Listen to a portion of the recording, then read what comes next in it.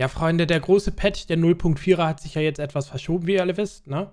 Nichtsdestotrotz kam heute ein kleiner Patchchen raus und den wollen wir uns mal angucken. Der beinhaltet nämlich neue Fallen, ne? also eher, eher so Alarmsystem, sage ich mal. Ne? Und zwar funktionieren die hier mit Feuerwerk oder hier so eine äh, Rakete oder halt ein Silent-Alarmsystem, also ein stiller Alarm, dann kriegt der Einbrecher denn gar nichts mit, aber du kriegst die Info, da ist gerade bei dir einer. Das ist sehr interessant, das gucken wir uns auch gleich mal näher an. Ähm, zu dem stillen Alarm gehört neuerdings jetzt auch das Handy, damit ihr die Info halt äh, geschickt bekommt. Ne? Die taucht dann oben rechts auf. Hier ist es ja schon als Beispiel. Und da kann man sogar auch äh, die entsprechende Falle, den Sensor halt ähm, umbenennen, halt so wie ihr das wollt. Vor der Tür, Hintertür oder wie auch immer. Keller, Dachgeschoss. Dann wisst ihr genau, wo der einer rumgelaufen ist, wisst ihr? also irgendwie eine coole Idee. Weiter geht's mit den Attrappen, sage ich mal fast. Ne? Das sind ähm, tatsächlich für äh, Skillen, die ähm, Schlüssel knacken, kann man jetzt machen. Und zwar das Lernen halt vom Schlüsselknacken, genauso aber auch das äh, Bomben entschärfen. Da gibt es jetzt so eine Attrappe, nenne ich das mal, also so eine Trainingseinheit hier, wo man dran rumbasteln kann. Ist auch interessant, um den Skill halt hochzubringen, ohne dass man jetzt live irgendwo einbrechen muss und jedes Mal einen Stromschlag kriegt oder, oder weggeballert wird von dem, der da halt wohnt oder wie auch immer. Gut, was ganz klasse ist, ist auch das Ding hier, dass jetzt die Kaffeeautomaten mal funktionieren. Es gibt jetzt Kaffee im Spiel und wenn ihr euch da so ein Ding entzieht, ähm, dann kriegt man hier so einen Energy Boost. Also ihr erholt euch dann halt dementsprechend äh, schneller, ne? Ausdauermäßig. Auch eine Neuerung für die ganzen Admins. Wir können jetzt auf der Karte mal äh, die ganzen Spieler sehen. Hier, das sind die roten Punkte, da ist einer da. Mit Name oder ohne Name kann man einstellen. Und wenn man draufklickt, kann man sofort hin teleportieren. Finde ich ganz gut. Das spart eine Menge Arbeit wiederum, ne? Und es wird immer besser, Scam, Leute. Auch, wie gesagt, gerade für Admins, äh, weil das ist vorher sehr umständlich alles, ne? Und äh, man kann nicht so viel machen. Deswegen freue ich mich über solche Sachen, dass sie auch an die Administration von dem Spiel denken, ne? Ähm, des Weiteren können wir noch einstellen, die Tankstellen, wie viel Benzin die haben, wie viel Liter so eine Tankstelle halt hat. Ne? 150 Liter hier oder 25 kann man denn so einstellen jetzt? Also ich lasse das jetzt erstmal auf Standard, da sehe ich noch nicht Bedarf irgendwie, dass ich da jetzt noch was ändern muss. Und äh, ist aber eine interessante Sache, dass wir jetzt mehr einstellen können. Also ich bin ein Freund davon, mehr einstellen zu können, damit sich die Server halt ja unterscheiden. Jeder stellt es so ein, ne, wie er mag halt. Und dann ist auch ein bisschen mehr Abwechslung, was Scam halt allgemein. Ganz viele Bugfixes, die gehe ich jetzt aber nicht durch, Leute. Und das war schon der kleine Patch. Etwas für 200 MB.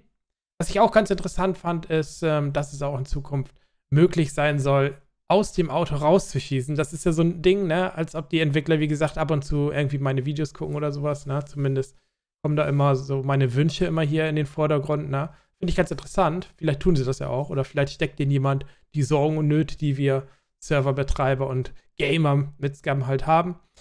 Und äh, das ist das Coole, dass da in dieser Richtung immer mehr entwickelt wird weil ich gerade vor zwei, drei Videos gesagt habe, ja, es wäre eigentlich geil, wenn man hier so die Scheibe runterdrehen könnte und dann da so rausballern könnte. Warum denn nicht, ne? Aber ich habe gesagt in meinem Video dann, ja, mit der Pistole halt so, ne? Ähm, aber ich weiß es nicht. Wenn das mit einem Gewehr da geht, dann ist natürlich auch cool. Bloß, ähm, weil du, wenn du Fahrer bist, dann ist es, glaube ich, realistischer, wenn du nur eine Pistole so hast, anstatt so ein Riesending da, oder? Ich weiß nicht recht. Ähm, vielleicht geht es auch nur für die Leute, die hinten sitzen oder sowas, aber das ist egal. Hauptsache, man könnte dann irgendwie da aus dem Auto ballern. Finde ich irgendwie eine coole Idee. So, jetzt schauen wir uns das mal an. Diese Alarmsysteme hier. Ja, Freunde, nicht wundern, wir sind hier auf dem Admin-Testgelände für uns. Und ich habe das schon mal soweit vorbereitet. Hier ist die Silent-Falle, in Anführungsstrichen. Ähm, so sieht sie aus. Das sind die stillen Fallen. Äh, und da geht es darum, wenn ihr gedrückt haltet, ne, dann könnt ihr hier den Namen setten. Das ist wichtig bei solcher Falle, damit ihr wisst, wo eingebrochen wurde.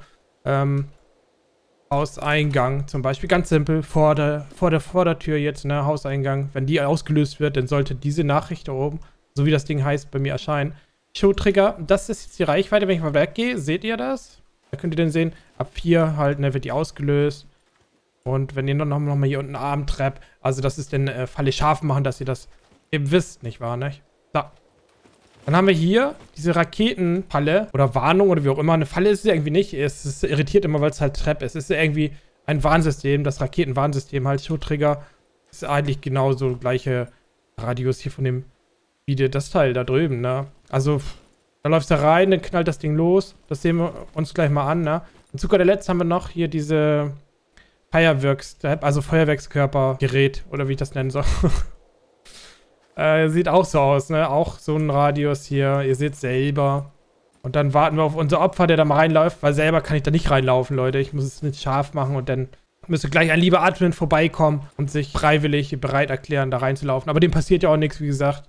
Äh, wir wollen ja nur mal gucken, wie das aussieht, wenn die dann so anfangen äh, auszulösen, ne? War nicht? So, hier schauen wir uns mal das Handy an. Das Mobile Phone, das braucht ihr jetzt für diese äh, Falle, um eben die Info zu kriegen, ja, hier wurde jetzt eingebrochen oder da läuft einer lang oder wie auch immer, ne? Dazu gibt es noch ein Smartphone-Akku. Ich weiß jetzt nicht, ob das irgendwie jetzt relevant ist oder sowas. Also, wenn ich das jetzt hier so hinschiebe, da passiert nichts. Rechte Maustaste. Auf jeden Fall gibt es das Teil. Ich muss es selber mal alles so jetzt noch testen. Wie gesagt, die Items sind nagelneu, Freunde. Und wir werden uns dran gewöhnen. So, da haben wir schon unser Opfer. Unser Einbrecher, der läuft jetzt da links über die ähm, Silent-Mine. Und dann sollte da eigentlich was passieren. So, Jawohl, habt ihr das gesehen? Oben rechts, schaut mal her. Something has triggered your silent alarm. Und da steht drunter Hauseingang. So schnell geht's. Jetzt ist die Meldung auch schon wieder weg. Ähm, das geht halt mit dem Handy. Und ja, jetzt wissen wir, dass zu Hause einer beim Hauseingang langgelaufen ist. Der muss ja noch nicht mal eingebrochen haben oder sowas. Aber da war ein Spion oder wie auch immer. so, jetzt schauen wir uns mal die, die Rakete hier an.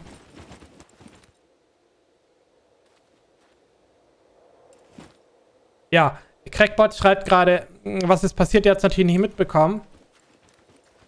Aber der sieht es dann im Video. Und da geht's schon los. Oh, Heidewitzka das hoch. Sieht geil aus, oder? Hui. Das ist die Alarmrakete. So sieht sie aus. Hält auch ziemlich lange, ne? Richtig nice. Aber Leute, keine Ahnung. Muss man sehen ob man das denn sieht halt, ne? Über den Bäumen und so, je nachdem, wo man halt ist. Keine Ahnung. Also das Handy hm, ist schon eine coole Sache da hinten. Mit dem Smartphone der Meldung. Das hilft auf jeden Fall. Dieses Alarmsignal muss man sehen.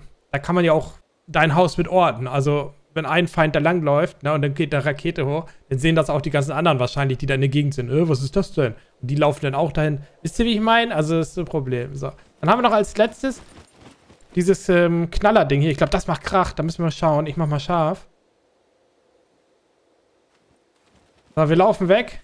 So, er darf. Achtung, da kommt der Feind. Er läuft rein. Oh. Ich kann gar nicht so weit nach oben gucken. Ach so, das ist so eine... Ach Gott, ist das so eine Batterie. Komm, ich kann es gar nicht sehen, Alter. Ich muss weiter nach hinten. also das ist schon extrem hoch, Leute. Ihr seht selbst. Okay, das ist Firecracker. Ich habe es mir jetzt anders vorgestellt. Ich dachte, auf Boden explodiert das so ein bisschen, ne? Und nicht so Raketen in die Luft haltet. Das ist ja hier diese Batterie, die wir auch schon haben, bloß in klein halt, ne? Auf jeden Fall interessant zu sehen, Leute. Und äh, ja, das war's schon. Wir danken Cracky für das Experiment. Ich selber kann ja in diesen Fall immer nicht so reinlaufen. Das ist halt das Ding, deswegen braucht man da immer einen Partner, der da einen unterstützt, ne? Nochmal, aber macht das mal nachts. ja. Nachts sieht es bestimmt auf jeden Fall auch richtig nice aus. Ja, wir testen das alle mal aus, Leute. Ich bin auf jeden Fall von dieser Silent-Falle begeistert. Von den anderen muss man sehen. Müsst ihr mal probieren, ob das euer Ding ist. Ne? Auf jeden Fall wieder eine lustige Idee. Und ich freue mich schon auf den nächsten Patch. Wir sehen uns dann morgen wieder, wenn ihr Bock habt. Und dann bis dann.